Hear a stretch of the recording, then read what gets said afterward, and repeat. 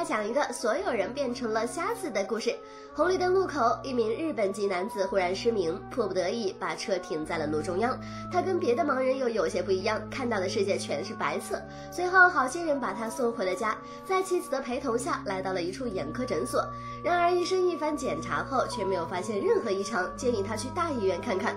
可没想到，到了第二天，凡是跟他接触过的人全部失明了，唯独医生的妻子丽丽是个例外。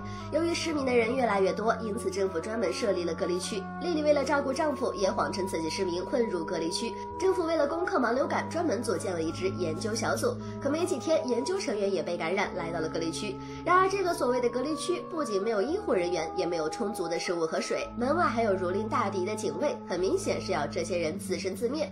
随着加入的人越来越多，一号病区已经人满为患。新来的人在二号病区自立山头。这天，二号病区的老大不知从哪儿搞来一把枪，霸占了所有的食物。其他人要想吃饭，就得拿值钱的东西来换。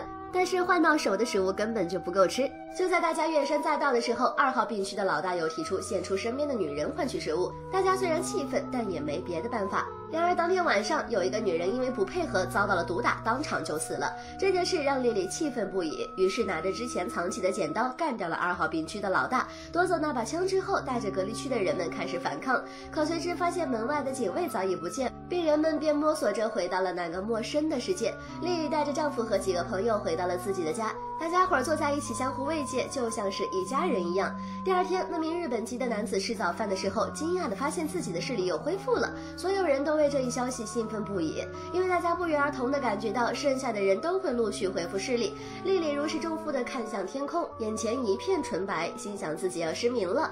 不过随着视线的下移，终于明白只不过是虚惊一场。奶白色中的罪恶，咖啡杯中的希望，人性是永远的话题。对于盲人来讲，更渴望看见；但是对于经历了这场灾难的女主角来说，或许失明挺好，因为这样就看不见人性的丑恶了。好了，今天的故事就说到这儿。如果喜欢我们的视频，就来一波点赞、收藏、加关注吧，拜拜。